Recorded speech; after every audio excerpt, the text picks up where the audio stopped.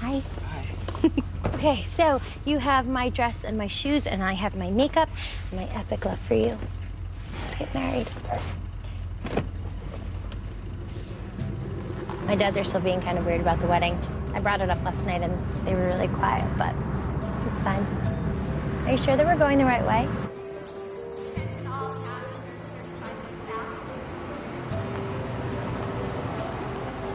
We're here. Are joking? Because it, it's not funny. We're going to be late. You're on the 425 to New York. Your, your dads are gonna meet you there, and they're gonna they're gonna help you look at dorms at the new school. You're gonna spend four years of your life there, and you've never even set foot in the place. So But I. I have all year to go and look at it. you're gonna go there in the fall. All right, you're not deferring. We're not getting married. You don't want to marry me? I want to marry you so badly I can't go through with it.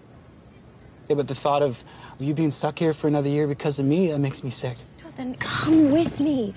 Okay, we can get married in New York and, and live in a little shoebox apartment together. It'll be romantic. Do you love me? Of course I do. Tell me the truth and not just something you think I want to hear.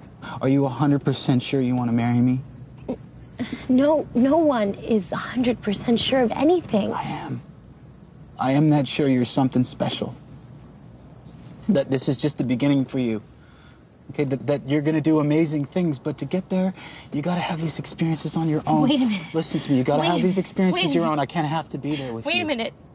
Are you breaking up with me? I'm setting you free. Oh my god.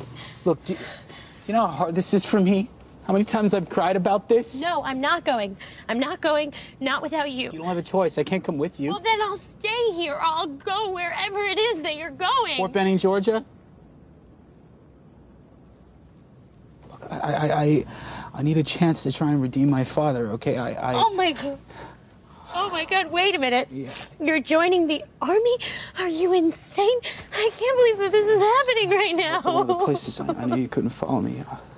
Look, you're, you're gonna get on that train, okay? And you're gonna go to New York, and you're gonna be a star. Without me. That's how much I love you. You what we're gonna do? Surrender. And I know how hard that is for you because of how hard you hold on to stuff. But but we're just gonna we're gonna sit here and we're just gonna let go. Okay, and, and let the universe do its thing. And if we're meant to be together, then we're gonna be together. Whether it's in a little shoebox apartment in New York or, or on the other side of the world. Okay? You do that with me? We surrender.